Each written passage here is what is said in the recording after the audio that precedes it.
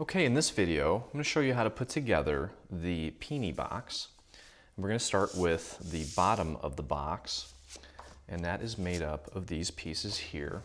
And what we're going to do is we're going to simply fold this tab here, and you're going to apply glue onto that little strip there. For the sake of time, I'm just going to use a tape gun just to kind of speed up the process.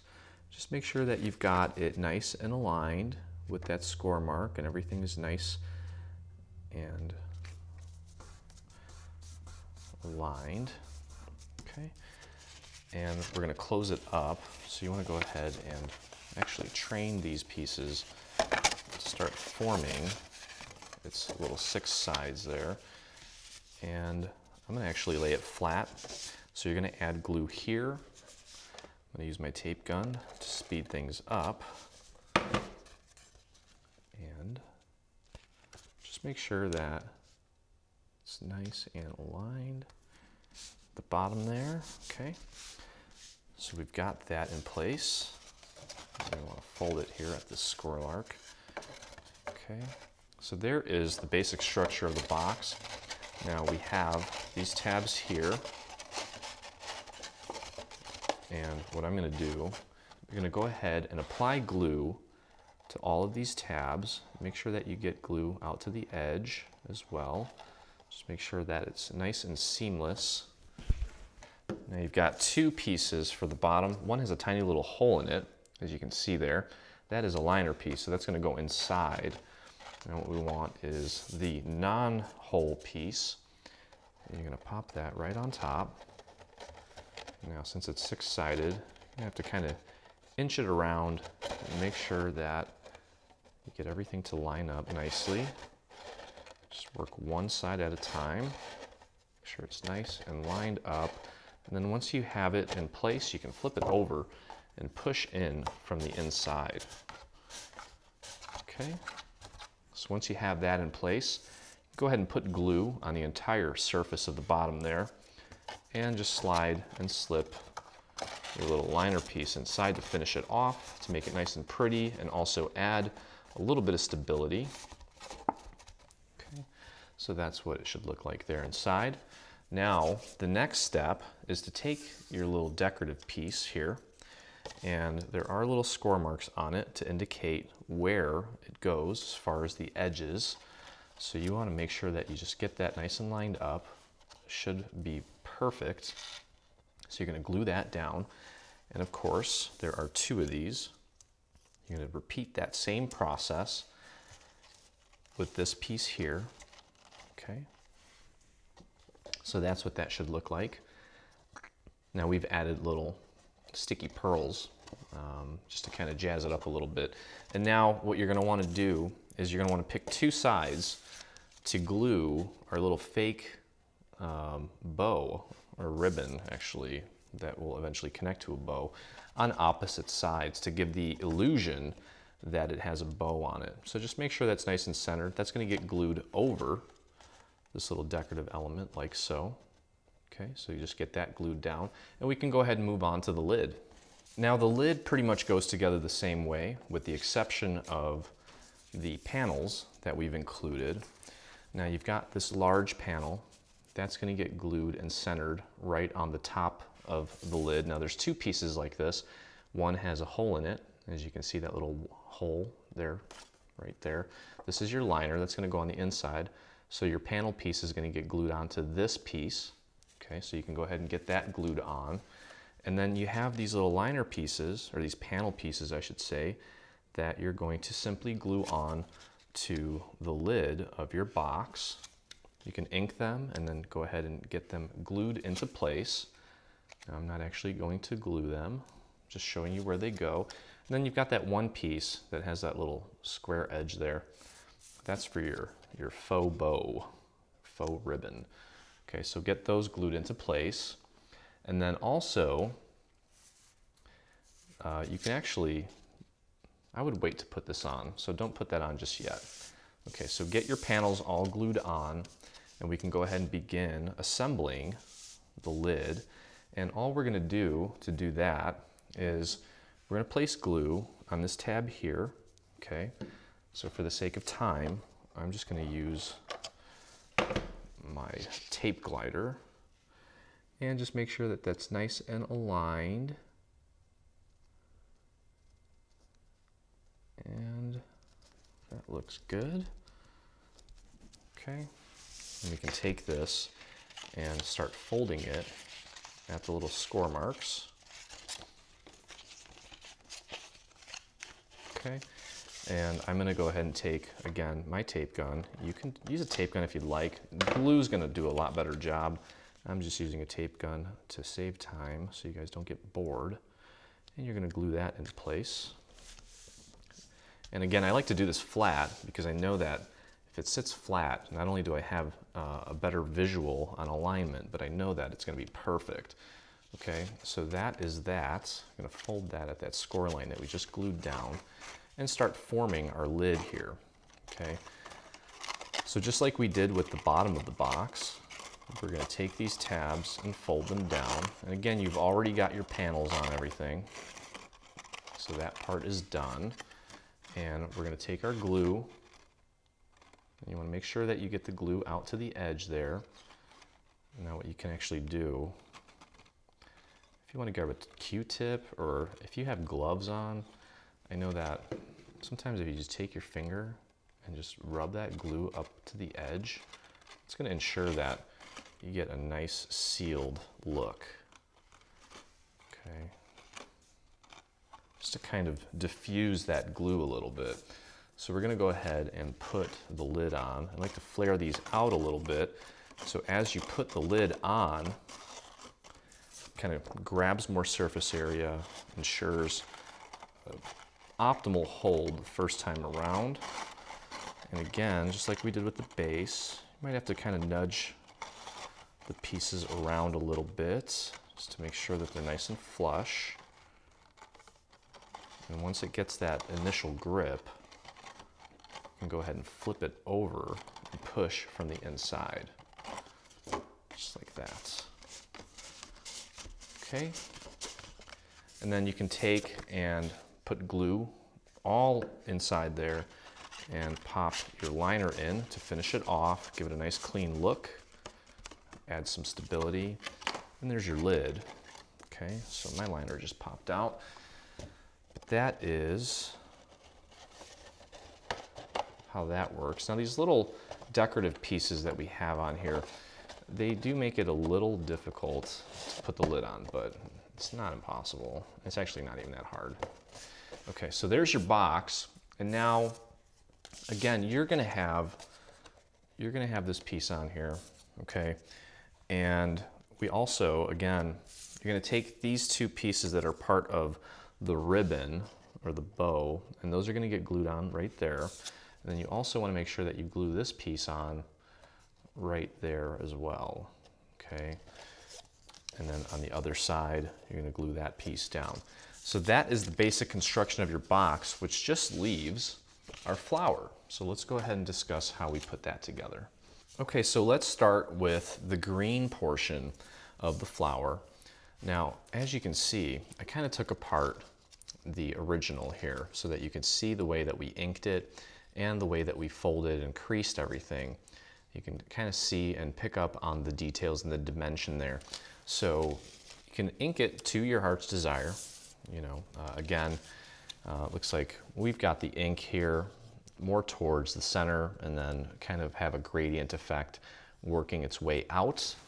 Okay, and then what you're gonna do is just kind of just pinch these leaves and give them some dimension. We've got some score lines in there for you to help you achieve that look.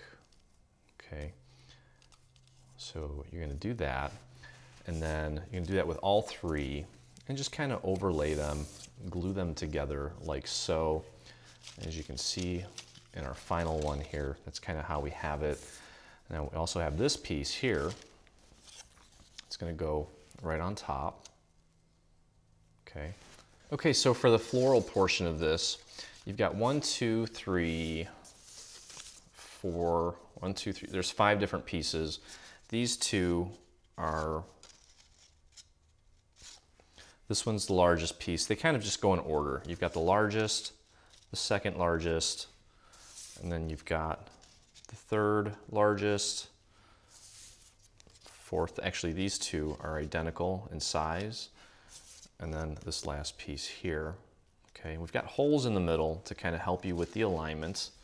Okay, and as you can see from our uh, the one that you saw in the photos, okay, um, you can kind of take a look and see how we did the inking there. Okay, we kind of inked from the center, also inked the tips on both the inside and the outside, just kind of leaving like a nice little gradient effect. Inking the tips really does help liven these up and um, kind of bring them to life and give them more dimension and so on and so forth. So have fun with the inking. And then with these, what, what you want to do is you kind of want to just train these so that they curl up. Okay, because you really want, you don't want them to be flat. So do your best.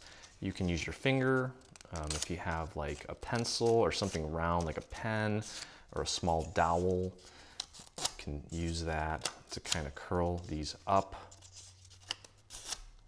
Okay, and you may want to kind of do more of the training towards the center to really get them to stand up.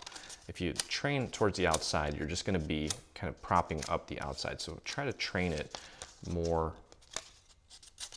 on the inside. You see the difference there? If you train out here, it's still kind of flat, but if you train it more towards the center, it really props it up, okay? And all you're really gonna do is you're gonna put glue within the little score line area and you're gonna repeat the same process with inking and training and you're just gonna offset these, okay, until you've got your flower. Okay, so I'm just gonna do a little bit of training so this thing sort of looks like our final one, especially when I get to the stamen piece. Okay, and again, all you're doing is just kind of inking and training these up, bringing them to life. Just like that. And then you're just, when you glue them down, you're just offsetting them. And just continuing that process. So as you can see here, this thing's looking a little flat. So I'm taking my pencil and I'm really gonna train this thing to give it some life. And just kind of apply pressure there. There you go. You see how it's really perking it up. I want it to be nice, perked up. There we go. That's really bringing it to life. There we go. Now it is coming alive. Okay, so again, you're gonna repeat that process and just get these glued down, just kind of alternating it, using that center hole as a reference as far as where to position it to make sure that you've got it nice and centered. And just go from largest to smallest, okay, offsetting the design there. So let me actually get this glued in place so that I can show you how the stamen piece works. And finally, can go ahead and put together our little stamen piece. Now, while it's flat like this, this is a great time to do your inking. Okay, just make sure that you ink both sides. And what we're gonna do is I'm gonna take a, I'm gonna take a pencil and I am just gonna simply start wrapping this around itself. Okay, so hopefully you can see that.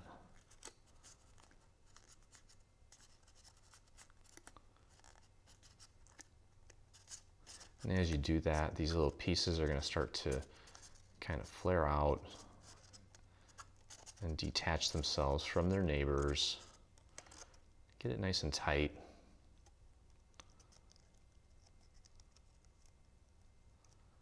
Okay, so I've got it wrapped nicely. You can kind of let it loosen up a little bit.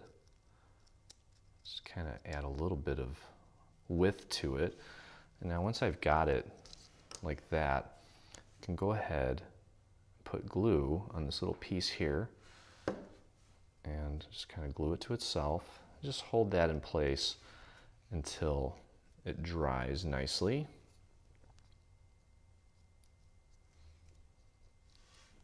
Okay, just keep holding that in place. And now while you're actually holding it, you can go ahead and start taking and ruffling these out. Okay, and we'll do a little bit more detail work in just a minute when this thing's nice and dry.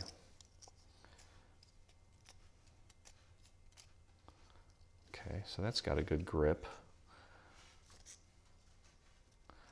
Now I'm just going to take my pencil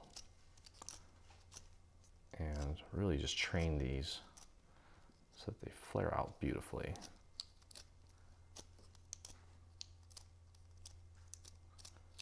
You can kind of even push them down and out. There's really no wrong way to do this, and it's going to come out beautiful. Okay, so that is what I came up with in just a few, just a minute roughly. Okay, and you can take these little centerpieces and kind of fold them in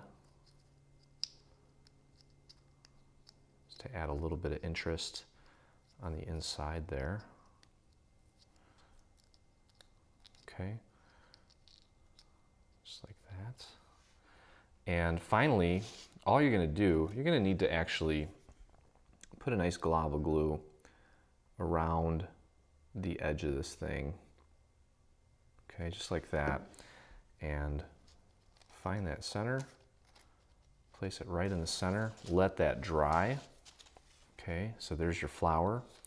And all that's really left to do is take your glue and apply some glue to the green part there and get that to stick.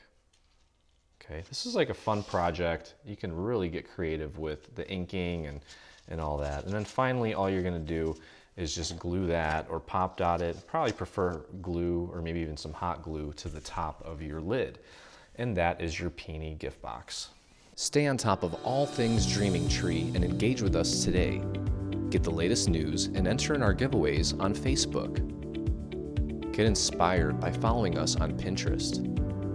Be the first to see our new product launches on Instagram. Do you prefer Twitter? Yep, we're there too. Watch our beautiful product trailers and assembly tutorials on YouTube. For more information, visit www.3dsvg.com. Live, craft, love, dream.